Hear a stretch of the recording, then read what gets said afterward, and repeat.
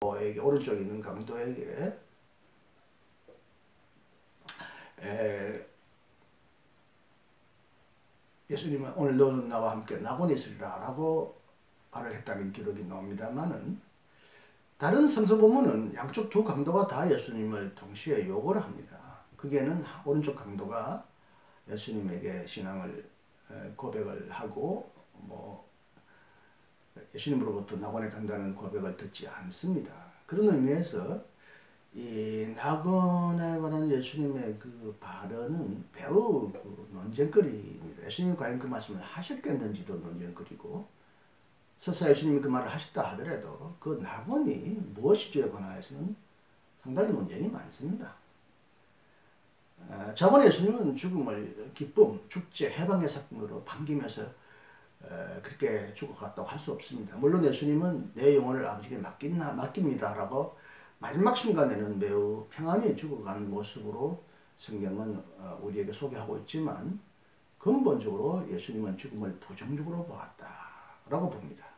바울도 죽음을 죄의 쌍시라고 보면서 어, 죽음을 우리가 반겨야 할, 기뻐해야 할 사건이 아니라 매우 괴로운 부정적인 것이라고 하는 것입니다. 이런 부정적인 죽음 이해에 근거해서 볼 때 영혼이 불멸하며 그 불멸한 상태로 사후에 행복한 나라로 간다고 하는 이런 이론, 헬라적인 이론은 들었을 자리가 없다는 것입니다. 인간은 영혼 불멸을 통해서 영생을 누리는 것이 아니라 부활을 통한 새로운 창조의 기적을 어, 통해서 새로운 영원한 생명을 얻게 된다는 것이 어, 신약성서, 특히 예수님의 영생신학의 기본이라는 뿌리라는 것입니다. 그럼에도 불구하고 죽음과 부활 사이의 중간 상태를 나타내는 은유들이 성경에는 다소 있습니다. 어, 죽음 자들이 어떤 죽음 이후에 어떤 상태로 존재한다고 하는 그런 내용들이 성경에는 다소 나타나는데 이를 근거로 쿨만은 그리스도 안에서 죽은 자들은 결국 완전히 어, 죽은 상태는 아니다. 그들은 잠자는 상태로 그리스도와 함께 있고 이미 부활에 참여하고 있다. 그런 의미에서 쿨만은 또한 헬라 사상과 유사한 개념을 차용합니다. 요한복음에는 영혼 불멸과 유사한 내용을 찾아볼 수 있다는 것입니다.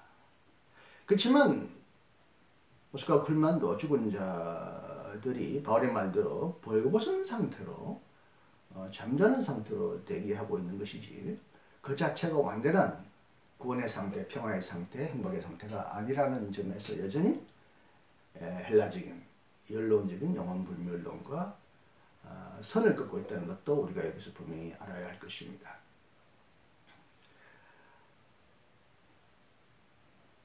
현대 개신교 신학, 특히 변증법적 신학은 영혼 불멸론에 상당한 어, 이의를 제기했습니다. 영혼 불멸론은 죽은 자를 일으키는 하나님의 은혜에 저항하는 죄인의 교만을 보여준다는 것입니다. 영혼 불멸 속에서 영혼의 불멸 속에서 영원히 살 것이라고 기대하는 인간의 기대는 죽음까지 넘어서려는 인간의 어, 절대적인 자기 주장, 자기 능력, 영혼 불멸의 능력을 의지를 드러낸다는 것입니다. 이런 비난이 꼭 들어맞는 것은 아닙니다. 교보들이 주장한 영혼 불멸론은 하나님의 창조 은혜로부터 주어지는 어떤 선물이었기 때문에 인간의 능력, 인간의 자기 의지로 불멸한다는 것은 분명히 아니었기 때문입니다. 그렇지만 계몽주의 철학과 독일의 감염주의에 맞서서 변증법적 신학자들은 완강에 저항하면서 영혼불멸론을 비판했습니다. 왜냐하면 많은 자들이 영혼불멸을 인간의 도덕성의 요청으로 윤리적인 행동의 궁극적인 성취와 완성의 요청으로 생각했기 때문입니다. 임마누엘 칸트는 어, 종교의 한계 내에 있는 아, 이성의 한계 내에 있는 종교라는 그런 책에서 인간의 불멸성을 인간의 도덕성 위에서 설명하려고 했습니다. 인간이 이 땅에서 어, 선하게 살고 양심적으로 살고 죽는다면 그에 대한 어, 정당한 보험으로서 어, 죽음으로 끝나지 않는 어떤 불멸이 전제되어야 한다. 그리고 그 인간에게 선에 대한 보상을 주는 하나님이 존재해야 한다. 그래서 그는 요청하는 유실론, 불멸을 요청했다고 보았습니다. 뭐 하나님이나 어, 불멸을 증거했다기보다도 입증했다기보다도 인간의 도덕성은 결국 불멸을 요청한다는 것이고 그 불멸을 제공하는 하나님도 요청한다라는 의미에서 특히 칸트의 이 철학은 인간의 도덕성의 결과로 선한 존재는 결국 불멸해야 한다는 어떤 도덕적인 명제로 제시했는데 이것을 변증법적 신학자 어, 칼바르토와 같은 사람들은 열렬히 반대하고 공격했다고 우리는 보아야 하겠습니다. 그래서 바르트는 영원 불멸을 통한 영생이 아니라 부활을 통한 영생, 새로운 창조를 통한 영원한 생명을 기대했습니다. 바르트는 죽은 후에 인간이 영혼이 마치 무덤 위로 어, 날아서 어, 몸을 벗어나서 무덤까지도 벗어나서 마치 나비처럼 훨 날아갈 수 있고 계속 존재한다는 생각은 이건 이교적인 생각이라고 보았습니다. 인간은 전체적으로 전인으로서 살다가 전인으로서 완전히 죽는다고 보았습니다. 죽음 후에 남아있는 것은 없다는 것입니다. 그러나 하나님은 죽은 자들의 부활 속에서 죽은 자를 완전히 새로운 피조물로 새 창조하신다고 바르트는 보았습니다.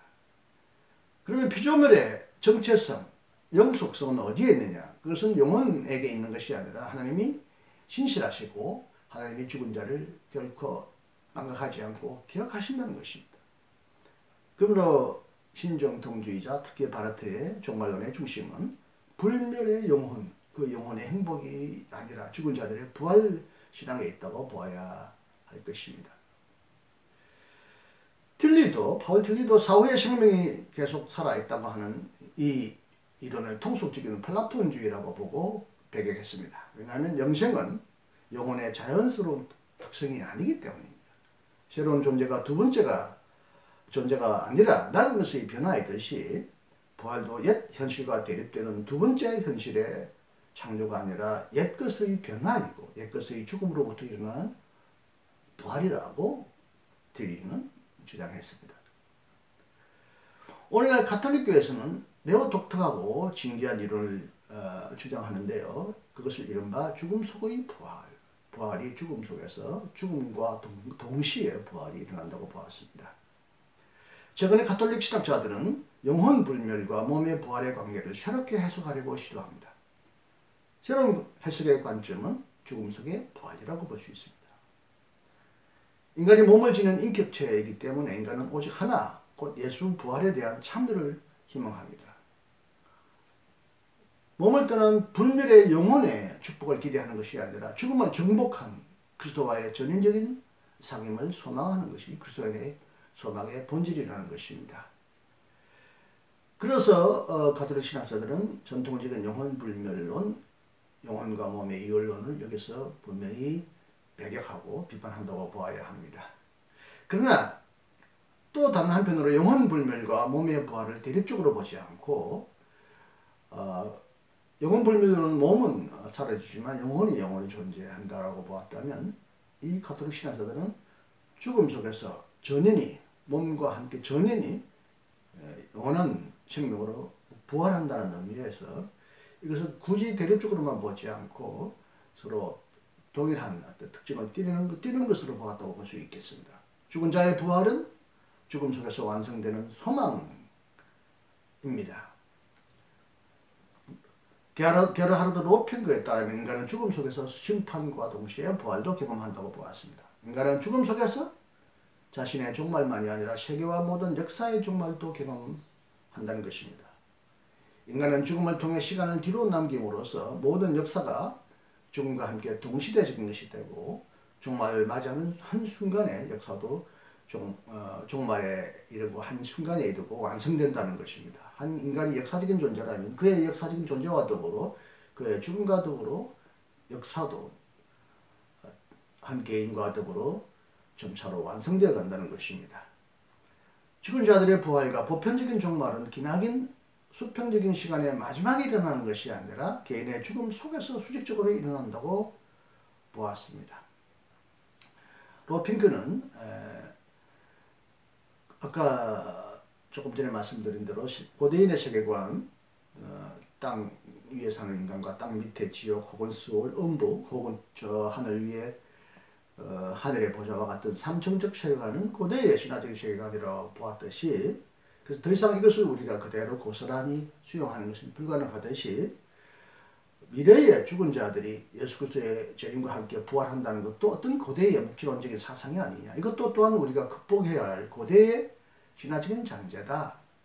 어떤 시간의 먼 연장 속에서 미래 속에서 부활을 경험하는 것이 아니라 개개인이 죽음 속에서 적극적으로 부활한다라는 신앙으로 대체해야 한다. 이런 의미에서 공간적인 우주관만이 아니라 묵시록적인 미래의 소망을 기대하는 그런 세계관도 고대의 신화적인 세계관이고 오늘 그것은 또한 극복되어야 될 대상이고 개개인이 부활한다는 것은 예수의 재림과 부활을 통한 부활이 아니라 개인의 죽음 속에서 하나님을 만나고 그 속에서 심판이 이루어지고 곧바로 어, 부활에 참여한다고 보았습니다.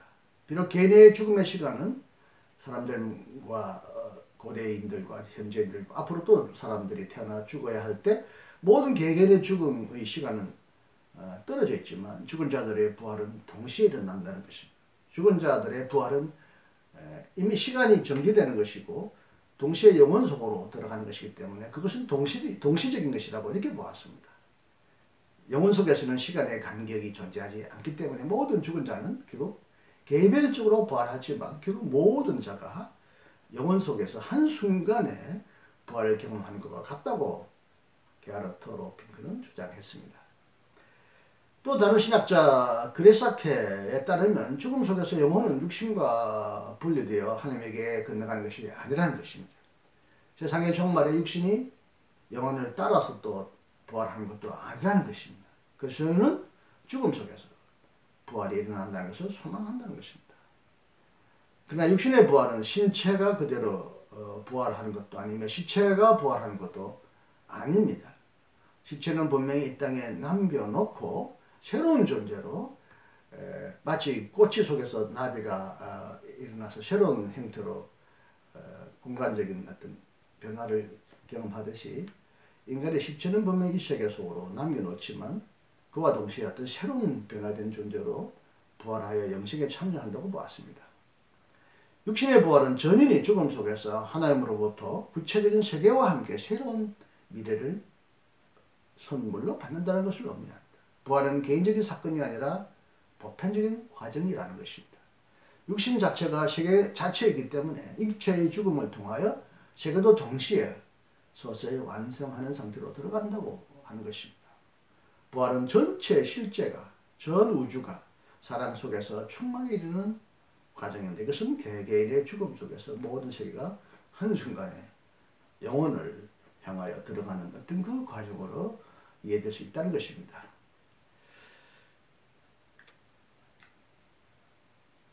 결론적으로 제가 잠정적이나마 내, 제 나름대로 여러분에게 말씀을 드리자면 죽음 이후의 상태에 관해서는 아무도 분명히 말할 수 없습니다. 아까 말했듯이 완전히 죽었다가 완전히 살아난 존재는 없고요. 오직 예수님만이 그런 상태로 우리에게 다시 되돌아왔다고 말합니다.